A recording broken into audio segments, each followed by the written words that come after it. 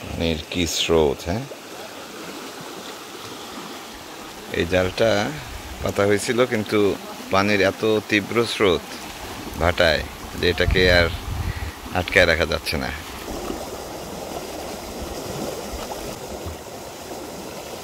সবাইকে স্বাগত জানাচ্ছি। আপনারা যারা গতকালকের ভিডিওটি দেখেছিলেন দেখেছেন যে একটি ছোট্ট খালে আমরা জাল পেতে রেখে এসেছিলাম।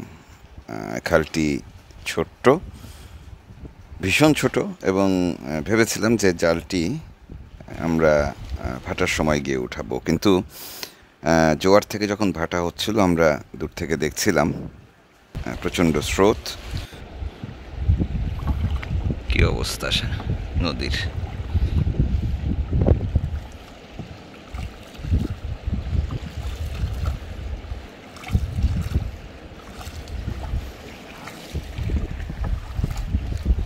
জেলে ভাইরা ঠিকই ধারণা করেছিলেন যে এই স্রোতে জাল আহ, টিকে থাকার কথা নয়। তবে নিজের চোখে তো দেখতে হয়। আমরা তাই সচক্ষে দেখতে রওনা দিলাম। কাশিবাড়ি গেছে? কাশিবাড়ি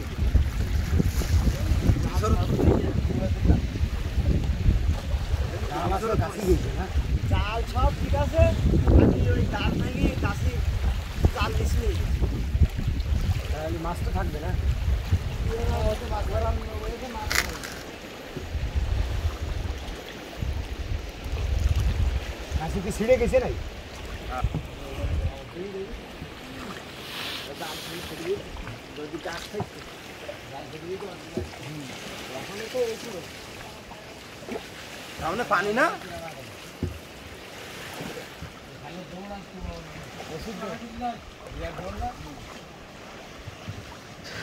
ছোট্ট সেই খালটি বেয়ে ভেতরে ঢুকতে বেশ বেগ পেতে হচ্ছিল তীব্র স্রোতের কারণে। প্রচণ্ড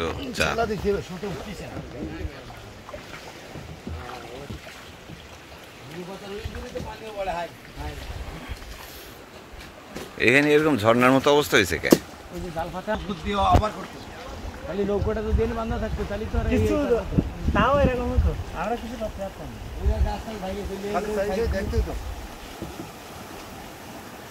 বাবা। রে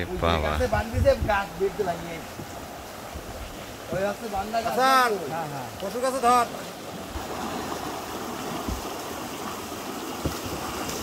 আঙ্কেল হাত দেওয়া দেন এখন আবার নামতে হবে। কোন জায়গায়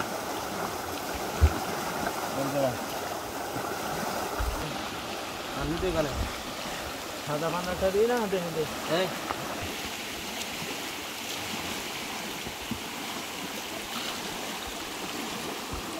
ওটার সময় তো এরম দূর করে আচ্ছা আর এখন ফসকি জন তালে হাতে নিয়ে যান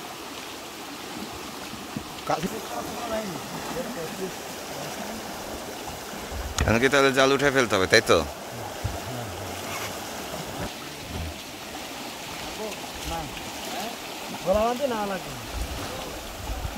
কি একটা অবস্থা।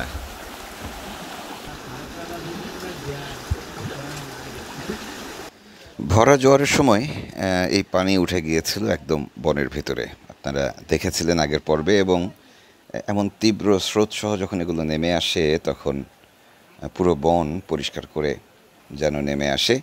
সমস্ত আবর্জনা শেকড়, বাকড়, পাতা, লতা সব কিছু নিয়ে যেন চলে আসে মিশে যায় নদীর মধ্যে।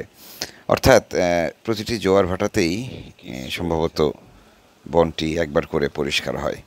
এই জালটা পাতা হয়েছিল কিন্তু পানির এত তীব্র স্রোত ভাটায় যে এটাকে আর আটকায় রাখা যাচ্ছে না। এটা উঠায় ফেলতে হবে। গাছ বাইঙ্গি নামায় নিয়েছে হুম।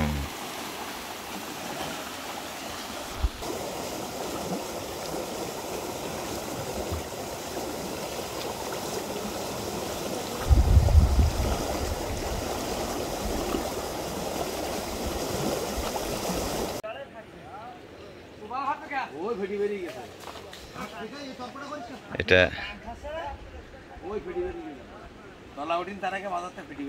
ফেটি বেরিয়ে হয়ে গেছে। না?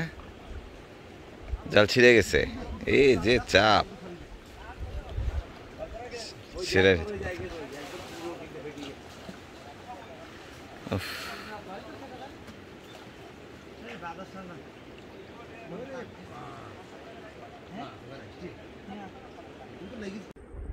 আমরা জোয়ারের সময় যখন আসি তখন ওই ধুন্দুলটা আমাদের বরাবর ছিল না? এটা তো ধুন্দুলি নাকি? এখন দেখেন ধুন্দুল কত উপরে। মানে এই যে অমাবস্যার জোয়ার দিনে অনেক বেশি পানি ওঠানামা করে। অন্তত দশ ফিট এই পর্যন্ত পানি নেমে গেছে। ফুল শুকায় যাবে? মাছও তো।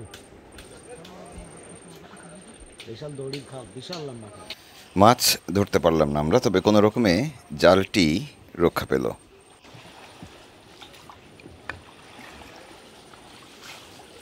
একটু হালকা পোকার কামড় টামড় খেলাম আমরা খেয়ে এখন বেরোচ্ছি।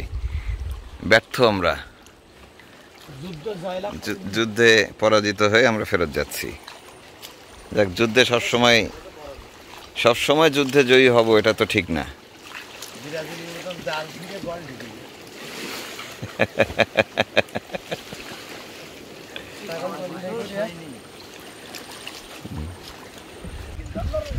খুব পরিশ্রমের জীবন।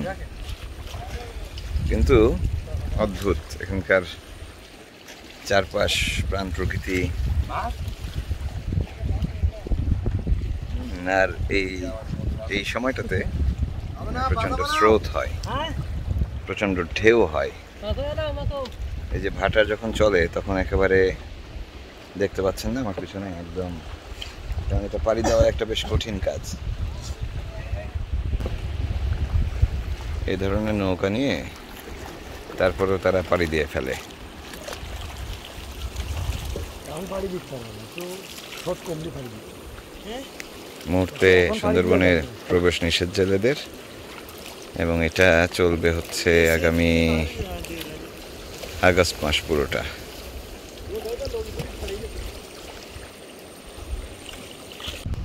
সুন্দরবন উপকূলেই শুধু এই নিয়মটি, অর্থাৎ সুন্দরবনে মাছ কাঁকড়া ধরার অনুমতি মিলছে না।